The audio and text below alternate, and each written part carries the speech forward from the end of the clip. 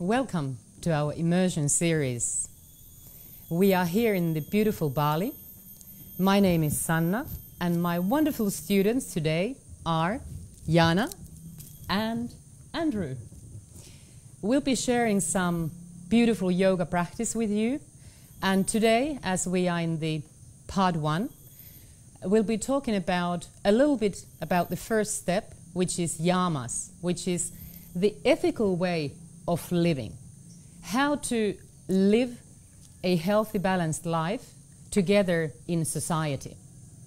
Now, in the West especially, we think about yoga practice as asana practice, as just doing postures. Like if that's all about yoga, I mean, there's so much more to it. Yoga is actually a huge, it's like a science of life. So that's why Patanjali, a great Indian sage, already 2,000 years ago, he put together the script, uh, scriptures like a yogic text. He wrote the Yoga Sutras.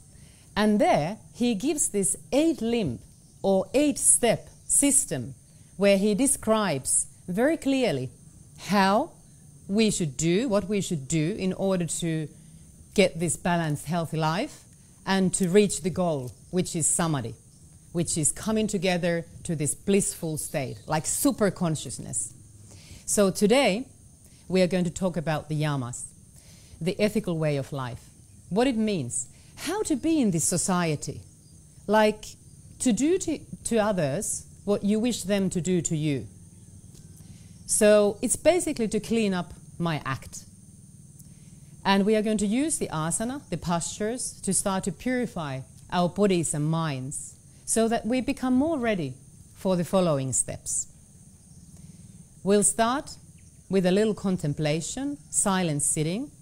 We'll join our palms of the hands together and close the lips, close the eyes.